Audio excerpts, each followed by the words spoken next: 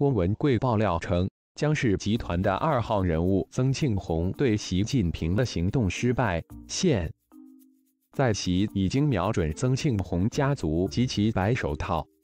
合成图片：新唐人北京时间二零二零年七月三十日讯，已陷入内外交困的中共政权，党内斗争更为惨烈。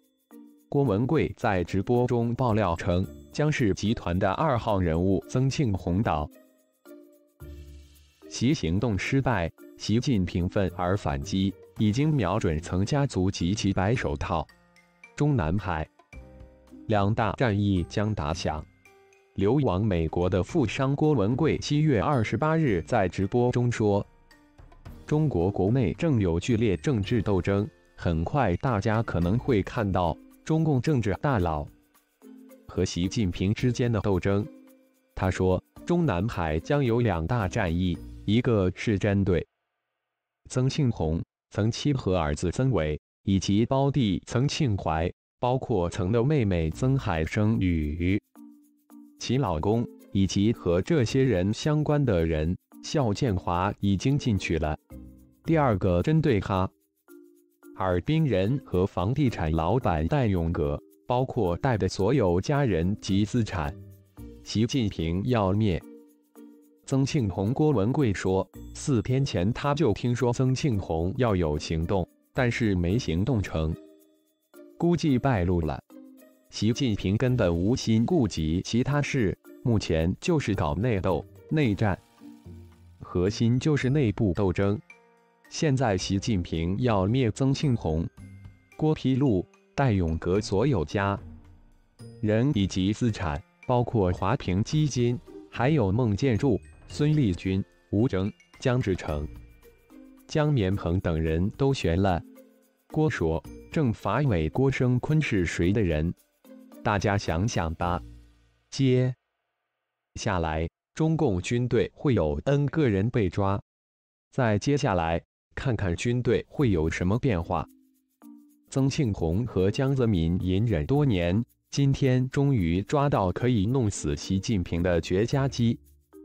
会大纪元合成图，戴永革是曾庆红家族的白手套。郭文贵提到的戴永革是靠夜总会起家的哈尔滨人和房地产老板，实际上就是曾庆红家族的白手套。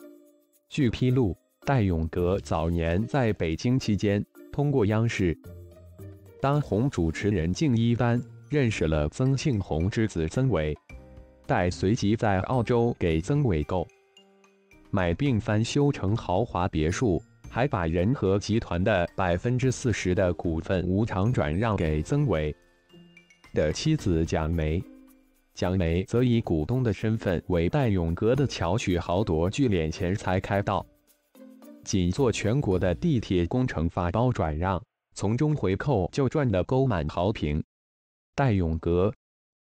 姐姐戴永丽曾说：“我弟弟通过蒋梅和曾伟在国内搞地铁工程赚了三零亿欧元还多。”由于戴永革、蒋梅等人利用大批政府官员发财心切和无知，在深圳、珠海、大连、北京、上海、长沙大搞非法集资洗钱活动，掠夺和转移赃款超过千亿之多。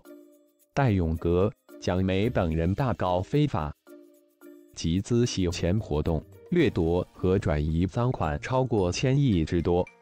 合成图片：曾庆红为江泽民策划各类阴谋。曾庆红是江泽民集团二号人物，被称作江派的军师。从上个世纪八十年代江泽民在上海掌权开始，曾庆红为。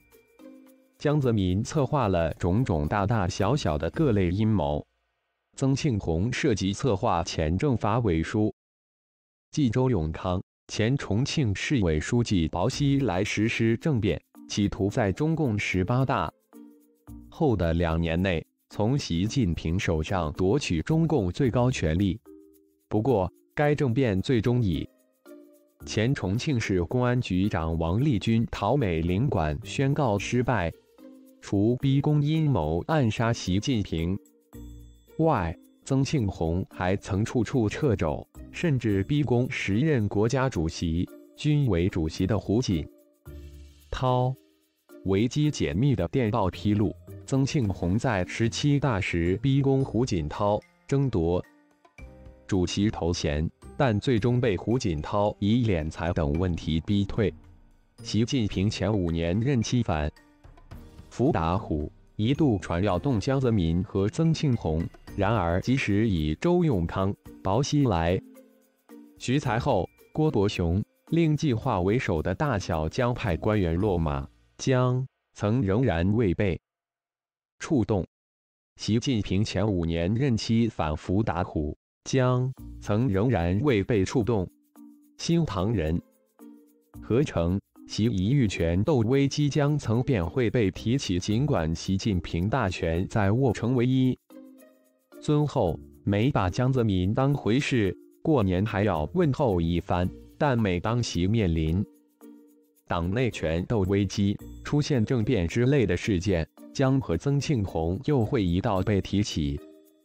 评论人士郑中原分析说，这是因为江泽民和曾庆红一天不倒，就是一面反旗的旗帜。今年以来，在中共隐瞒疫情遭全球围剿之际，有人抬出邓家族。矛头指向习近平，当中到底有多少是掺和了江曾庆红的事？例不得而知。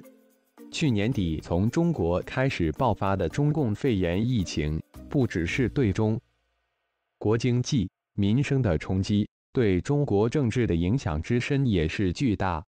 疫情未散，南方洪灾再起，整个六月份，政治局常委都未开会。在此期间，中共高层一度集体隐身。最近几天，七常委接连露面，但至今也未去灾情事，查慰问灾民。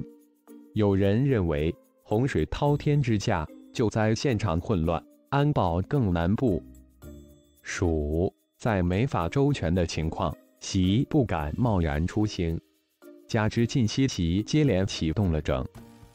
顿军方和政法体系的大动作，显示在中共内斗异常凶险，而且不排除